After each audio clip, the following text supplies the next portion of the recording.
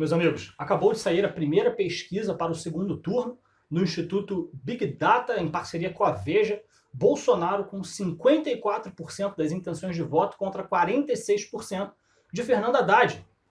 É óbvio que isso não é nenhuma surpresa para ninguém. Se você for somar as intenções de voto dos, dos candidatos que possivelmente que os eleitores vão votar no Haddad, que vão migrar desses outros candidatos para Haddad no segundo turno, Haddad ficou com 29% dos votos, mais 12% do Alckmin, isso dá 39,41. Você coloca aí mais 4% do Geraldo Alckmin, dá 45.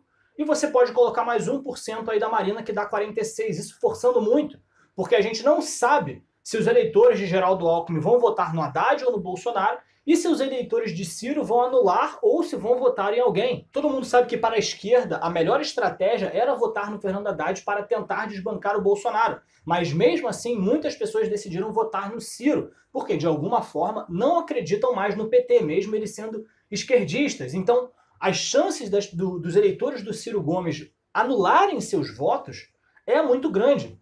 Então, aqui, esses 46% é o melhor cenário que o Fernando Haddad vai ter porque o Bolsonaro, além dos seus 46, 47%, tem chance de pegar votos do Geraldo Alckmin, vai pegar votos do Novo, vai pegar o voto do Cabo Daciolo, Álvaro Dias, muito provavelmente Meireles também. Então, esses 54, 46% é o melhor cenário que o PT vai conseguir nessas eleições.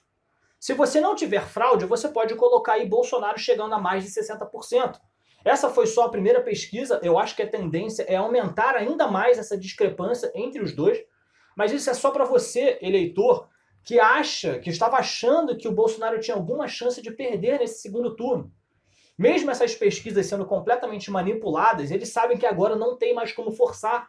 Eles sabem que Fernando Haddad não tem chances de vencer. Então anota aí, meus amigos. Bolsonaro 54%, Haddad 46%. Eu acho que até o dia das eleições, até o dia do segundo turno, Bolsonaro passa dos 60%. O que, que vocês acham?